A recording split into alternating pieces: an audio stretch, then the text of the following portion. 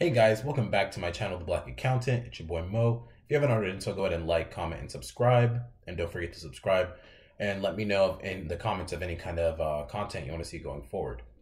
So today I wanted to kind of get into something that I struggled with for a really long time and something that I'd say 90 to 95% of people really struggle with, and that is a fear of success.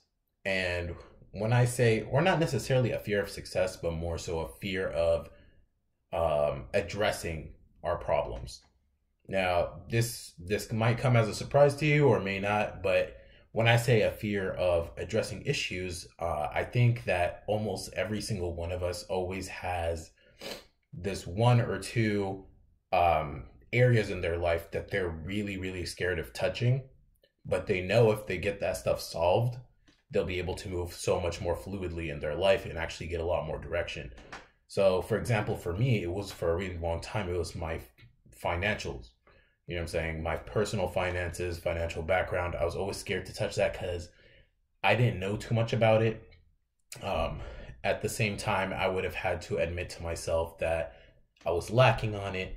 At the same time, being addressing the my own personal spending habits, addressing my own um, insecurities in that area, and um, just coming to terms that I wasn't in a really good position. But I recognized in myself that it was something that needed to be touched because if I didn't get that in order, I couldn't fully transition into my um, adulthood in the way that I wanted to. I wouldn't be able to achieve the goals that I wanted to if I didn't address that. And um, I think it took a lot of time which I sort of regret, but at the same time, I don't because that time allowed me to grow as an individual and to actually recognize the problem and be able to stand up to solve it. Same thing I noticed with uh, a couple of friends, a couple of family as well. It's like it, it could, it's not always something financial. In other people, it could be addressing a problem that you have with, say, a sibling, a friend, a relative, you know, bringing up those issues that you feel like might become really messy and you just either don't have the time to deal with it, which is obviously an excuse, or you're just really scared of doing that because you don't know what comes next. Because either you're so used to operating in that dysfunction, or uh, you're just scared of the way it'll change you or the way it'll change your dynamic with that person as well. So, uh, I think it's really, really important to address these things um, to become smarter and better individuals. And especially if you're somebody that's planning on starting a family down the line, or somebody that's going to be in positions of power, somebody that's going to be somebody of influence, because if you don't have your stuff in order, it tends to show and it tends to seep into your work, it tends to seep into your life matters, and you're not able to function as well as you could if you had addressed the issue. So let's say for myself, if I never address my financial issues, how if i was coming down to a relationship how could i provide? How could i be um somebody that people can depend on in that sort of situation if me myself i wouldn't be able to depend on myself? Does that make sense?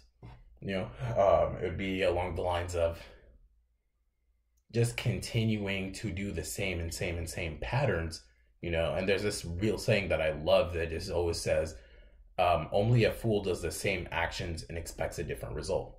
So, in order to move forward, I feel like we need to address the areas that concern us, the areas that we're really scared of dealing with. Because if we always let our fear outweigh our curiosity or outweigh our willingness to do something, then we kind of get stuck in the area that we're at. You know, while it's cool and you should always accept yourself as as a person and like yourself and love yourself even it's not cool to stop growing because learning is a lifelong endeavor. You know what I'm saying? Uh, being able to improve on yourself, being able to fix yourself is something that benefits you and benefits the people around you and overall just elevates the spirit. So, um, it's an interesting question because I think about it all the time. For me, it's like I believe in a previous video I talked about what success means to me, and to me, success is peace of mind and peace of spirit. And how would I attain that if I have a nasty relationship with somebody from my family, or if I have a bad relationship with someone of my friends, or if I uh, if I'm still struggling with financial issues? You know what I'm saying? So it's always a great idea to take the time to address each of those things and give it its due time. You know what I'm saying? Don't go and operate on anybody else's schedule but your own because at the end of the day, we have our own internal clocks, we have our own mindset, we have our own goals of what we're thinking about and what we want to achieve and what we want to do. So operate in those times, but also keep in mind that your time is short. So the better and the earlier that you do it, the better it is and the better results that you have.